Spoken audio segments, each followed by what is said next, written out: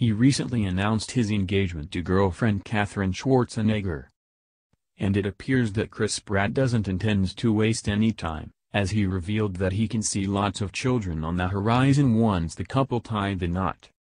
The Guardians of the Galaxy star, 39, who is already father to six-year-old Jack from his previous marriage to Anna Faris, also said he intends to spend more time enjoying life. When he was asked by E.T. whether he intends to have more children in the future he said, The future? Oh. Lots of kids. The actor said, I always want to be the guy that works to live, not lives to work. I think, I want to spend, just a lot of time at the farm and a lot of time catching a lot of fish and seeing lots of sunsets.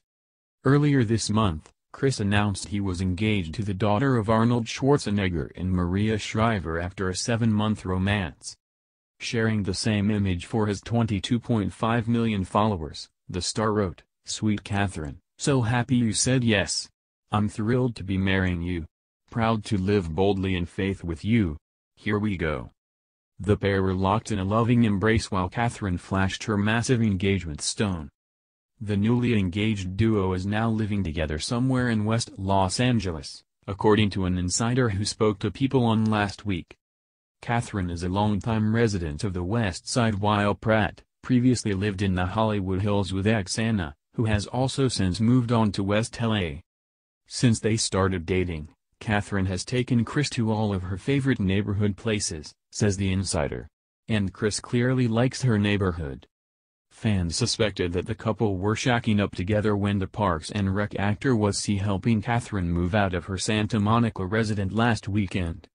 The Avengers star seemed excited about the move as he shared an Instagram marking the occasion. I love moving. Picking up heavy things and moving them into the back of a truck was my major in college. He wrote in the caption. Interestingly, Chris's divorce settlement with Anna stipulates that he must live not more than five miles apart from her for the sake of their son Jack.